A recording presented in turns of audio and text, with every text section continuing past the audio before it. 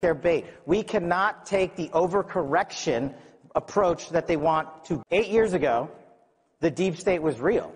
When Donald Trump came down the escalator. Thank you. So I thought it would be fun to go on a manhunt of government gangsters together. And I'm so proud to be at CPAC with so many great Americans who represent Donald Trump's army to take this country back. And that's what it's going to take an entire army. And we all have a job to do. We have the benefit. We're blessed by God to have Donald Trump be our juggernaut of justice, to be our leader, to be our continued warrior in the arena.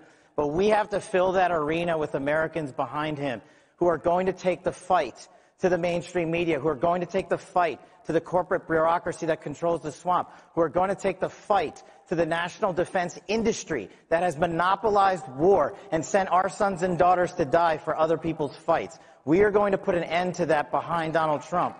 And we are going to do it together. What I want to talk about is um, you guys have been so kind to make Government Gangsters, my book, a bestseller. I thought there would be no better place than to announce what you just saw, which is a joint venture with Steve Bannon and War Room Entertainment to launch conservative films back into the ecosystem. So Government Gangsters, the movie, is the first one, and it's coming out in the spring, uh, just in a couple of months here. So we're very excited about that. But here's the thing. Eight years ago, the deep state was real. When Donald Trump came down the escalator in 2015 in Trump Tower, the deep state was already moving at 100 miles an hour. But they, the deep state, projected on us that we were the neocons, we were the conspiracy theorists because we dared to call them the deep state. And when we fast forward eight years later, they have multiplied. They have put their army on the ground in government agencies and departments from the DOD to the FBI to the DOJ. They have weaponized justice. They have politicized the intelligence community. They have seized our Department of Defense from the men and women who have the audacity to serve and wear the cloth of this country, and they have tarnished their reputations. And they have led to disasters in Afghanistan, in Ukraine, in Israel, and elsewhere. But they blame us. And one of the main themes about government gangsters is we cannot take their bait. We cannot take the overcorrection approach that they want to government. What we must do is identify the people in government that are crippling our constitutional republic. What does that mean? First, we have to identify them. It's not a Republican or Democratic thing. The people that started Russiagate are back in power now. If you think, and the following took me two years to prove with Devin Nunes in the House Intel Committee, that a political party in the United States of America could go overseas and buy fake intelligence and hijack the FBI and go to a federal secret court and lie to a judge just to surveil the political opponent. That's conspiracy stuff. But that's what happened in our United States of America to our president the first go round. What do you think these people are doing now? And there's no coincidences in government. Let me give you an example of the news that's been back in play thanks to great reporting out there about the details of how vast Russiagate was, how the intelligence communities were using operatives overseas. None of that happens by accident. When you go to England and a place like that and you say, you, the FBI, you, the intelligence community, go out there and surveil illegally Donald Trump associates, someone's got to authorize that. Now we know it was John Brennan and Obama who came in with the directive, but who issued the order on the ground to allow that to happen under the law? Gina Haspel, London station chief in 2016, who would later go on to be Trump's CIA director. She's the one who singularly blocked the report that you guys are now all familiar with about John Brennan's corrupt ICA. That report still sits in a SCIF at the CIA under lock and key because she blocked Donald Trump's release of that report so you guys could see the corruption of their ways. The fight's not over. The coincidence don't stop there. Chris Wray, Rod Rosenstein ran the Russiagate cover-up operation, signed the illegal FISA warrants to surveil Donald Trump while he was president of the United States to rob us of our single greatest benefit in this country, our freedom to vote. Do you know where Gina Haspel and Rod Rosenstein work today? Gina Haspel is a national security advisor to Chris Wray's law firm, where Rod Rosenstein is a named partner with Sally Yates. Since they left the Trump administration, do you think it's a coincidence that the architects of Russiagate the greatest conspiracy ever perpetrated against the American people are all making tens of millions of dollars together at a white shoe law firm in the United States of America. Good, identify the problem. It goes beyond Brennan. It goes beyond Clapper. It goes beyond Esper. It goes beyond Barr. It goes beyond so many people you've heard about from the Trump administration. And the only way we are ever going to break that logjam is if we don't accept their projection. They, the radical left, have told us we are the ones who hijack law enforcement agencies. Are we the ones that sent law enforcement into houses of worship? That was them. Are we the ones that told parents that you will be dictated the agenda for your children's education? That was them. But they did it in the name of America, and apparently, since they have the mainstream media, they're getting away with it. And here's the kicker about the media they serve an invaluable purpose in our constitutional republic until they fail us, which a large portion of them have.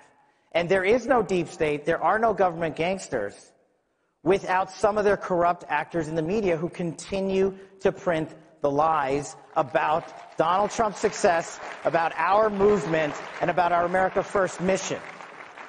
And so, what I started the conversation with is it's up to us. We've got the greatest leader we could have ever asked for but he's going to need some help from us. And so what do we do? What do you do in the next 240 some odd days till the next election? You pick one thing. You pick one thing, whether it's healthcare, education, sheriffs, law enforcement, countering drugs, narcotics, weapons, what have you, ending the forever wars, veterans affairs. You pick one thing and you go out in your communities and you do it 245 times. And you will see that message resonate because Americans across this country are tired of the swamp. And the swamp only exists because Washington, D.C. has perpetuated itself to overcome the will of the constitutional republic that is the United States of America. And we have to end that. And we cannot end that unless we do the following embark on a mission to educate Americans across the country. Now is not the I told you so moment. Now is not the time to go to America and say, we were right about Russiagate, we were right about Jan 6, we were right about the 51 Intel letter, we were right about Joe Biden's classified documents case, we were right about John, uh, excuse me, President Trump's classified documents case and the two-tier system of justice. We were right because we dared to put the truth out. We were right because we were fighting for this country and our future generation with facts. And that's what we have to arm the American people with every single day. And there isn't anyone in this room or watching that can't effectuate that change with the amount of great social media platforms and media that we have here, like Real America's Voice and everybody else that's willing to take that fight out there. It's imperative that you join the mission. We will follow Donald Trump's tremendous leadership, but we are going to need every one of you times a hundred across this scary country to make sure our message is received. Because here's the thing. 2016 is when Russiagate happened. We're in 2024. There's like 40% of this country that still think Donald Trump's a Russian asset because they believe the lies of the mainstream media. And who in the media is again starting to circulate that lie that somehow Donald Trump is still a Russian asset when we now know definitively the Russians preferred Hillary Clinton to win that 2016 election? How is that truth still buried? Because people like Hillary Clinton go back out there into the media and inject their fake narrative to try to seize you of your right to vote. So the main thing I'm here to talk to you about today is we have to join together in whatever way you want, in whatever mission set you desire is most important to you and do the following. Put the mission first.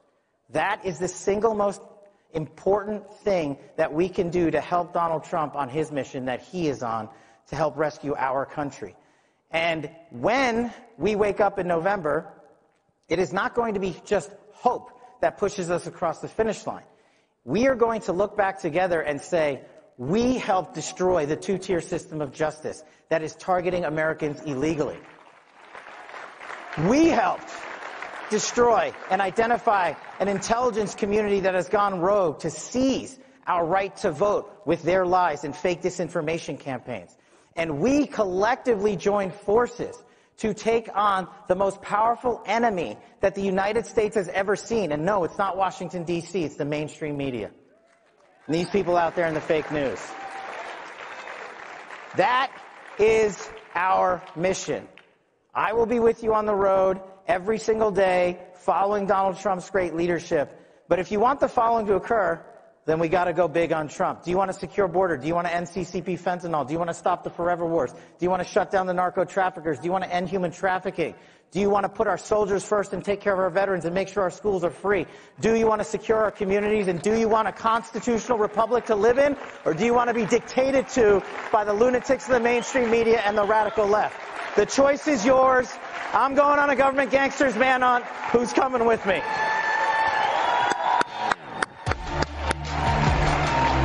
Eight years ago, the deep state was real. When Donald Trump came down the escalator, national defense industry that has monopolized war and sent our sons and daughters uh, just in a couple of months here. So we're very excited about that. But here's the thing. Our leader to be our continued warrior in the arena. But we have to fill that arena with the audacity to serve and wear the cloth of this country. And they have tarnished their reputations. No better place than to announce what you just saw, which is a joint venture with Steve Bannon and conspiracy theorists because we dared to call them the deep state. And when we fast forward eight year debate, we cannot take the overcorrection approach that they want to the benefit. We're blessed by God to have Donald Trump be our juggernaut of justice, to be. Thank you. So I thought it would be 2015 in Trump Tower. The deep state was already moving at 100 miles an hour. Government. What we must do is identify the people in government that are on the ground in government agencies and departments from the DOD to the FBI to the DOJ fight to the corporate bureaucracy that controls the swamp, who are going to take the fight to the pack with so many great Americans who represent Donald Trump's army to take this country. The movie is the first one, and it's coming out in the spring, uh, and we are going to do it together. What I want to intelligence community they have seized our Department of Defense from the men and women who have the fun to go on a manhunt of government gangsters together. And I'm so proud to be at CPAC. They have weaponized justice. They have politicized the entire